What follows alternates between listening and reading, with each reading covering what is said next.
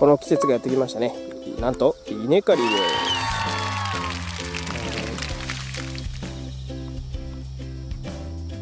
すちょっと今ね台風とか来ててねちょっとねなかなか作業ができないんですけど今日はねなんとかできそうなのでやっていきたいと思います。この大部分は機械で刈るのでこの四隅こういう四隅ですね。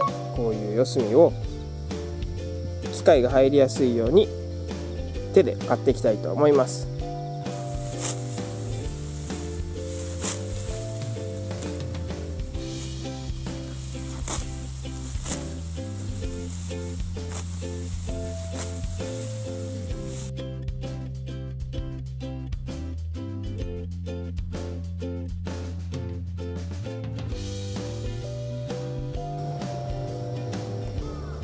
こんな感じで、えー、どんどん四隅をね切っていきます。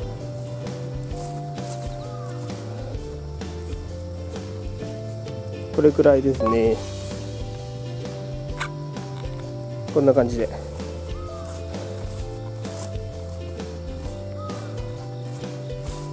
こんな感じで機械が入りやすいように四隅に切ってあります。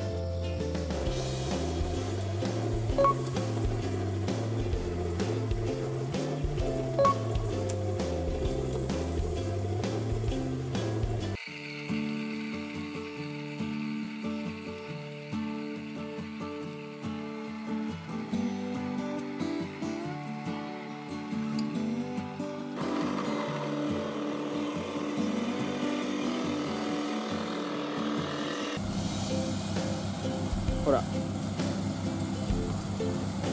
あれはね米を刈ると同時にこの藁。藁をこういうねほら。こういうの細かくしてくれてます。粉砕ですね。してくれてます。で後ろのところに取った米を貯めていってるっていう感じですね。あのタンクのところに。